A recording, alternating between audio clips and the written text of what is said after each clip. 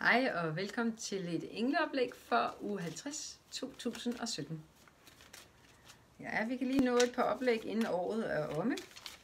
Og det er jo vigtigt at lige få det sidste gode råd med. Måske de sidste gode råd her for en engel, der ved bedst for dig om hvad. Og i hvert fald vil gerne inspirere dig det mindste. Det er jo ikke sikkert, at du behøver at tage imod det, men øh, det kan du så selv vælge. Englekortet ser således ud. Åh, oh, det var svært at se, kan jeg se. Sådan der. Og jeg tager lige bogen, den hedder Harmony. Harmoni 43. Så læser vi lige råd for dem, eller for denne engle. Hvad det budskabet er, og så tolker jeg også på det. Harmoni. Yes. Sådan der. Nøgleordene er harmoni, tilfredshed, fred og accept. Harmoni synes at mangle i så meget af samfundet i dag. Konflikt synes at være normen, men en tilstand af harmoni kan opnås og bringe fred, kan opnås og bringe fred og accept til enhver situation. Meget af din oplevelse af konflikt opstår inden for dine tanker. Hvad du bekymrer dig om eller ængstes for, er, at dit sind dominerer din erfaring gennem dom og frygt. At lære og at berolige sindet og objektivt betragte folk af situationer, når de kommer ind i din tilstedeværelsessfære, vil hjælpe dig til at finde harmoni. Når du accepterer andre, bringer du ikke kun harmoni ind i dit eget liv, men også ind i deres. Åbn dit hjerte og giv plads til harmoni, hvor der er splitterhed i dit liv og i verden omkring dig. Englene spørger. Holder du, hold det, den er svær, den der, sådan. Holder du fast i konflikter i dit liv?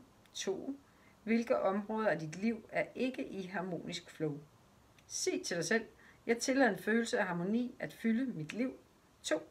Jeg er i fred med mig selv og med andre. Og så vil jeg lige kigge på kortet og mærke, hvad det, det vil sige her direkte nu her til nuet.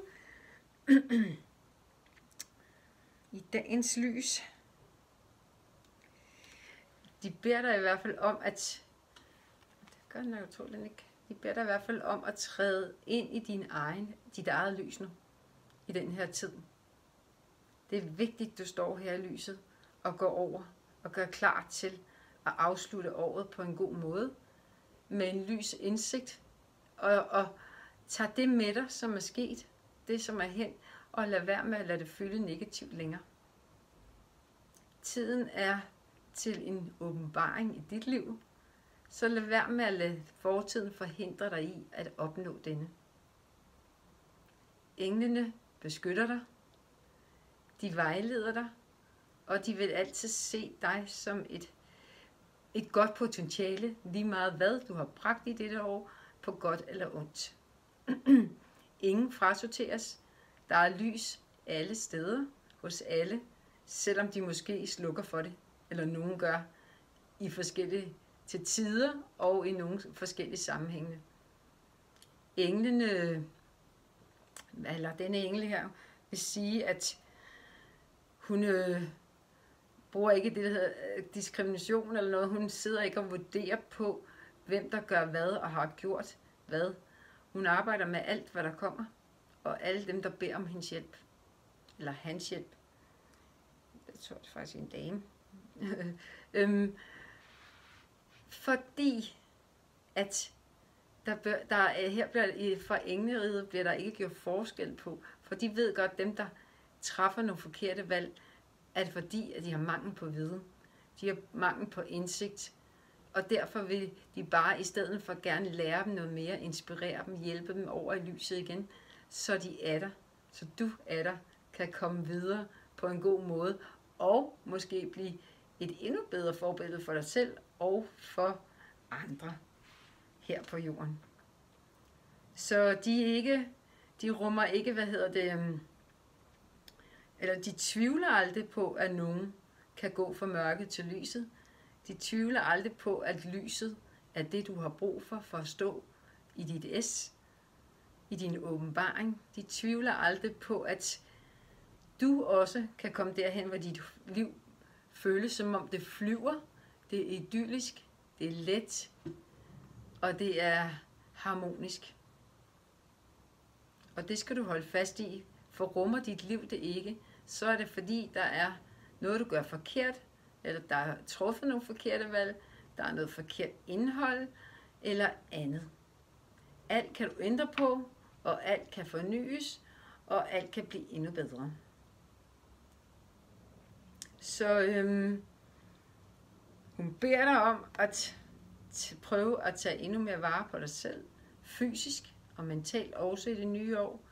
Stop op. Se om du stresser. Øh, stop op og se om dine tanker har taget over og løber løbsk med dig. Foren dig med din krop og sjæl og sind og arbejde med den dagligt, så den er i balance.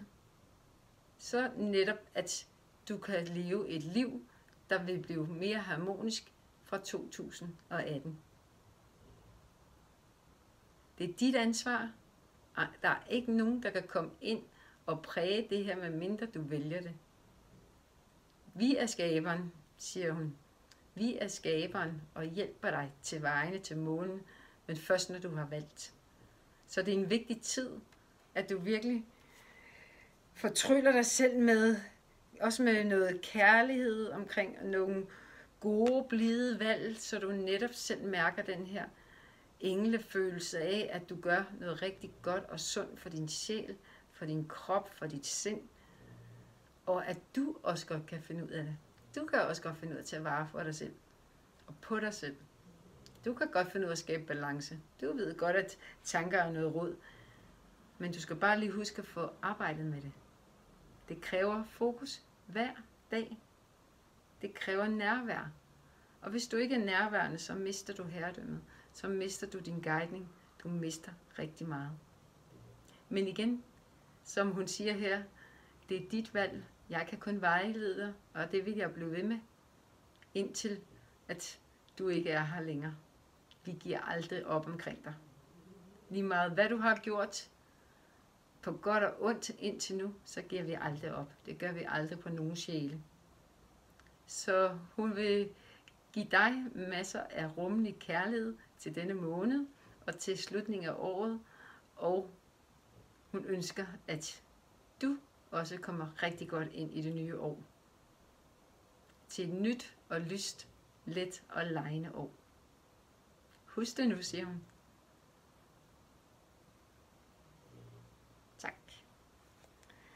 Det var så engleoplægget for den uge, og vi ses i næste uge.